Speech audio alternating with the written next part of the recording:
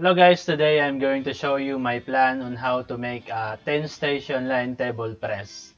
I made it using SketchUp and uh, good news is I will share it to you guys for free. So check the description below.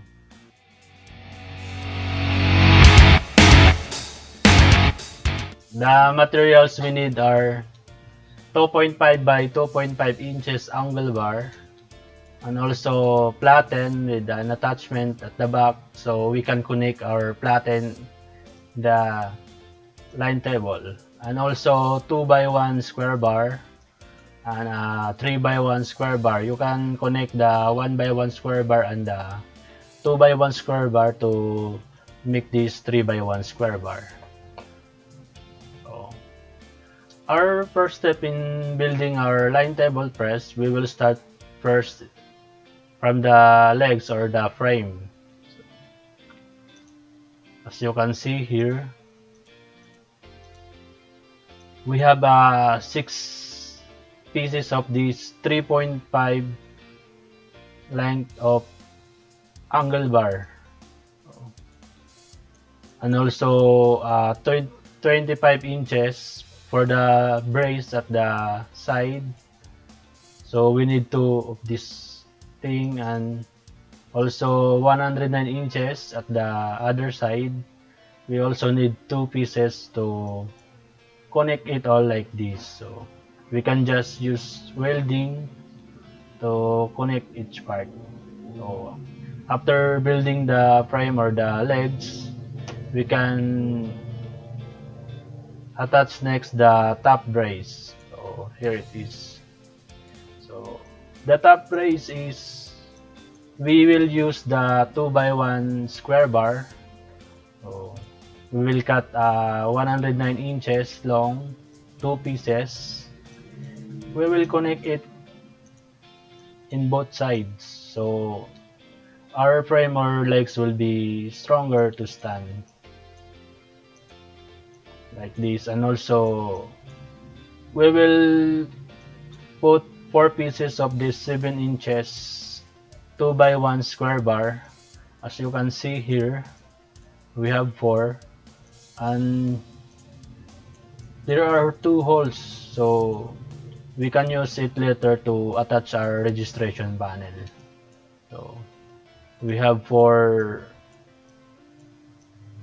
pieces here so so when we attach the first one, we will attach at the side.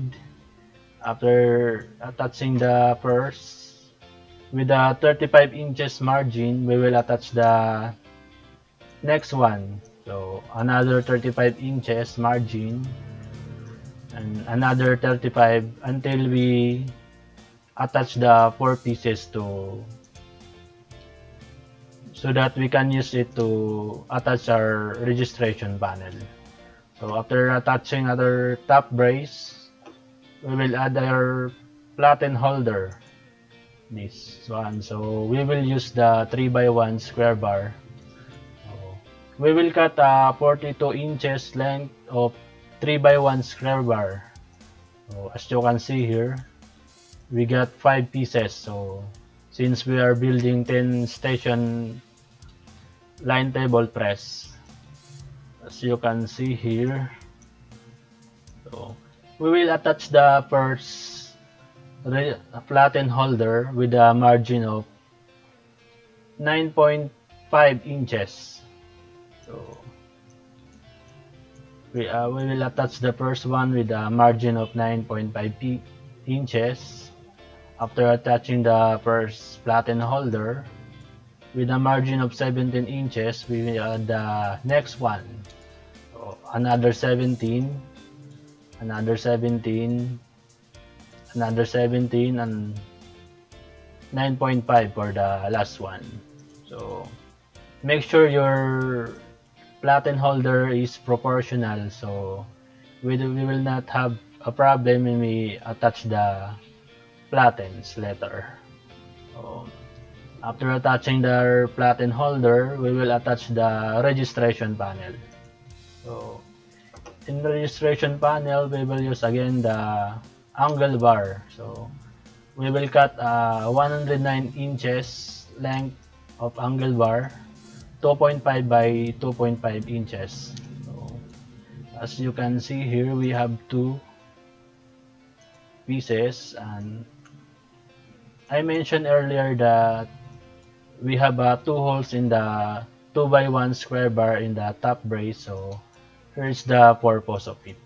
So we'll make holes of the registration panel angle bar so we can attach it using screw. So it is easy to disassemble or assemble but you can also use your welding machine to quickly attach it.